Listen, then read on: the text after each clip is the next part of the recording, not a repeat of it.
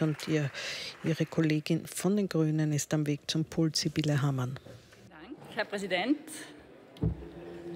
Lieber Herr Bundesminister, ja, der Kollege Brückel hat das ein vollgepacktes Paket genannt. Das ist völlig richtig. Da sind einige Dinge drin, verschiedene Dinge, gute, wichtige Dinge, notwendige, ja, die wir jetzt auf den Weg bringen. Ein paar Stichworte sind schon gefallen.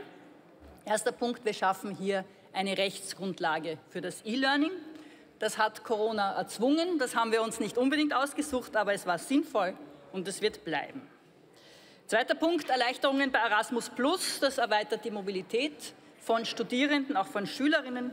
Auch kurzfristig müssen wir halt darauf warten, dass wir wieder reisen dürfen.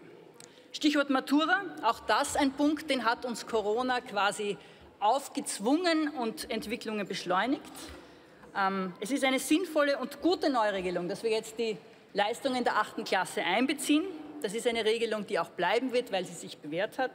Und ich möchte den Kollegen Brückel dahingehend beruhigen, ich glaube, das ist keine Amputation, sondern eher eine Wellnesskur für die Matura. Ja, Stichwort Nost, ähm, da freue ich mich sehr über den Enthusiasmus äh, der Kollegin Hammerschmidt, den ich teile. Da haben wir ein bisschen aufgeräumt auf einer Baustelle, äh, die schon lang bestanden hat.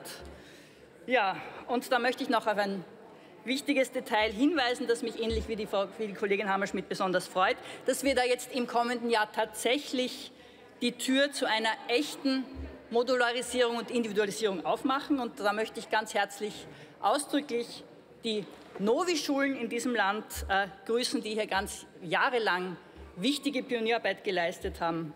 Dieser Schulversuch wird jetzt ins Regelsystem überführt und wird hoffentlich dann in Zukunft von ganz vielen anderen Schulen nach, nachgemacht, auf das viele Jugendliche ähnlich spannende Erfahrungen machen können wie an diesen Schulen bisher schon passiert ist. Insofern, deine Freude ist ganz meine Freude darüber und ich glaube, es ist auch die Freude des Bundesministers.